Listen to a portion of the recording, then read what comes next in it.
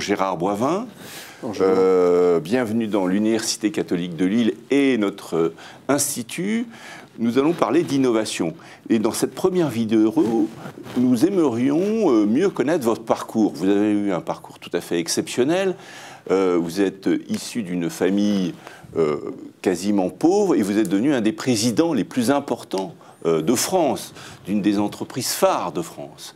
Donc bravo. Est-ce que vous pouvez nous raconter, parce que tous les étudiants de l'université vont être passionnés par votre parcours, ce parcours tout à fait exceptionnel qui vous mène d'un père euh, euh, avec des moyens limités à devenir un des plus grands patrons français?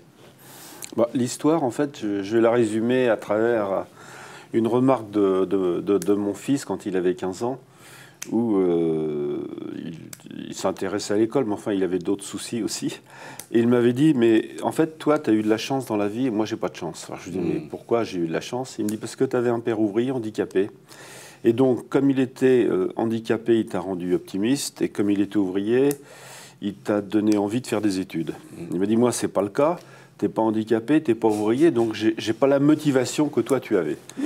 Donc ça commence comme ça, et c'est vrai que j'avais cette motivation. Euh, ce qui fait que, au niveau des études, j'ai fait euh, ingénieur. Ensuite, j'ai fait un PhD euh, d'économie. Mhm. je suis rentré chez... Alors, votre thèse était déjà précurseur à l'époque. Oui, et en fait, ma thèse, c'était l'économique et le social. C'est-à-dire qu'on ne mhm. pouvait pas prendre de décision. C'est une thèse d'économie, et où je disais qu'on ne peut pas prendre de décision économique sans intégrer le social et vice-versa. Et euh, d'ailleurs, j'ai eu des problèmes sur ma thèse parce que euh, en, économie, on me disait que c'était une thèse de sociologie, mmh. et en sociologie, on me disait que c'était une thèse d'économie. Mmh. En finale, c'est devenu une thèse d'économie. Et c'est la raison pour laquelle euh, j'étais très intéressé par ce sujet. Je dis toujours que je suis un peu un, un ayatollah du développement durable parce que j'ai fait l'agro, donc j'ai connu l'écologie très, très, très vite. Et ensuite, euh, je suis rentré chez Danone parce qu'à l'époque, il y avait le double projet économique-social. Mmh, écologie, oui, économique, une entreprise sociale. très connue, voilà. Euh, qui a d'ailleurs euh, créé un Entreprise et Progrès, ou c'était avec L'Oréal Si, si, avec L'Oréal. avec L'Oréal. Voilà. Et donc, c'est ce qui a... donc, ma première partie de carrière, c'était chez, chez Danone. Ensuite, donc je suis rentré chez Bell, où j'ai tout fait. J'étais directeur industriel, directeur euh, d'une grosse division de 2500 personnes, directeur général du groupe en 96, PDG en 2001, président de la holding en 2010. Voilà. Et là, c'est une rupture extraordinaire pour Bell, puisque jusque-là, c'était des gens de la famille Bell, des fondateurs. Exact. Ça, il faut le dire. Donc, c'est une réussite tout, à fait exceptionnelle. Comment vous êtes, en quelque sorte, arrivé à vous affirmer dans un groupe euh, familiale comme ça. Est-ce que ça a été facile Est-ce que ça a été difficile? C'est ni facile ni difficile. En fait, c'était une question, euh, je dis toujours, euh, une réussite est basée sur trois choses. C'est basé sur effectivement la chance, c'est basé sur le travail, et c'est basé sur le travail, la chance et l'intelligence. Et je pense qu'à un moment donné, une génération managériale, c'est 15 ans. Hmm. Or, en fait, il y avait un, un trou qui fait qu'il euh, fallait prendre quelqu'un pour assurer la, le suivi familial. Et donc, c'est moi qui ai pris ce, hmm. relais entre euh, un monsieur qui avait grosso modo 15 ans de plus que moi et le PDG actuel qui a grosso modo 15 ans de moins que ah, d'accord. Donc, c'est à peu près ça. C'est une génération managériale, c'est 15 ans. Donc, si vous avez un trou de, de si vous avez 30 ans entre hmm. deux personnes, ce qui était le cas, eh bien, il faut trouver quelqu'un à l'extérieur.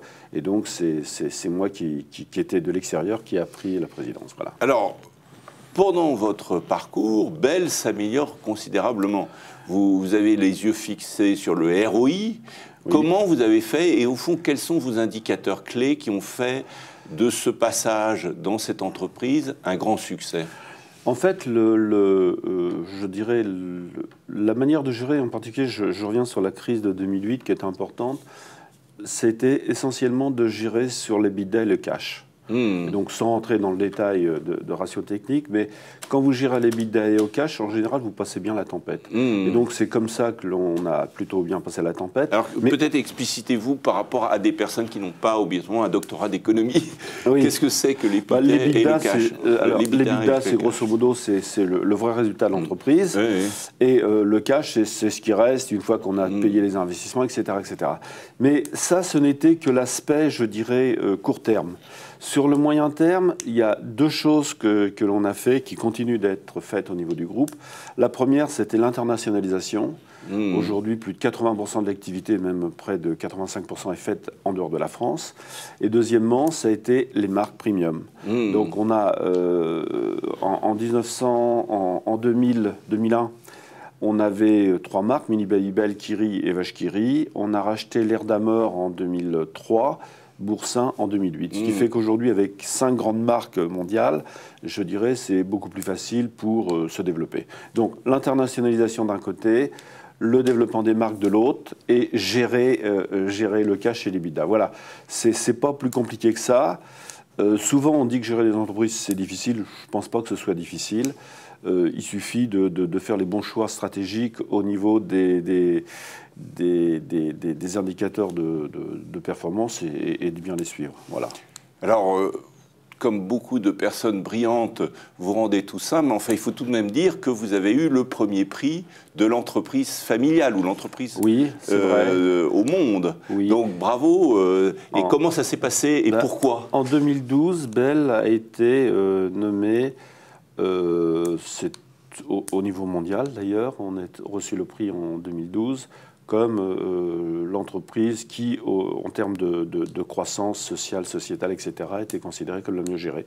On a vu le même prix au niveau français, je crois que c'est dans les années 2005 à peu près, 2004-2005, mmh. et on l'a eu au niveau euh, mondial en 2012, désigné par euh, l'IMD, puis un certain nombre d'organismes suisses qui sont indépendants. Donc voilà. Merci Gérard. Et on va maintenant, dans une seconde vidéo, explorer votre métier spécifiquement donc euh, l'agroalimentaire. Merci.